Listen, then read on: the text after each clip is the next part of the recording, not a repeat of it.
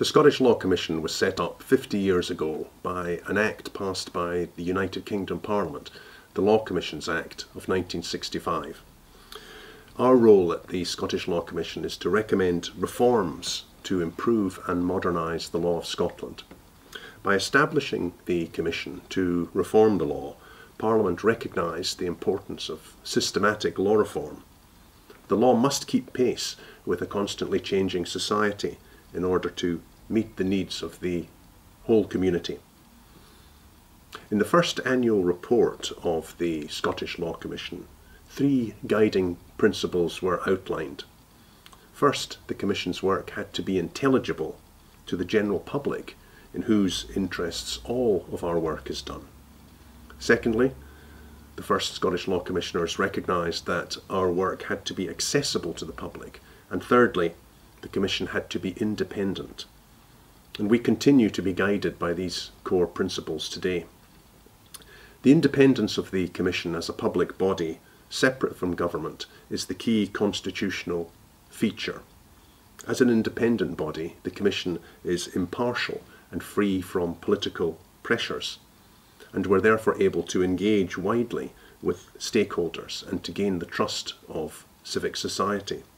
From that position of trust and independence, we advise the government about changes to the law. The Commission's remit covers the whole of Scots law, both areas of law which are reserved to the UK Parliament at Westminster and devolved areas. On the former, we advise the UK government. On the latter, we advise uh, Scottish ministers uh, at Holyrood. Given this constitutional landscape, the Commission has had to build close relationships with uh, governments on both sides of the border. Over the years, most of the Commission's work has been implemented in legislation passed by the UK Parliament at Westminster and by Holyrood. Implementation of our work over the past half century has brought about sweeping changes in the landscape of Scots law, for example in land law and the law of property and in family law. The Commission's work is carried out by specialist law reformers who are experienced in managing public consultation exercises and in constructing reform proposals to address legal issues, and doing so in a way which fits with the rest of Scots law. The Commission also takes account of how other countries have approached similar problems in their legal systems.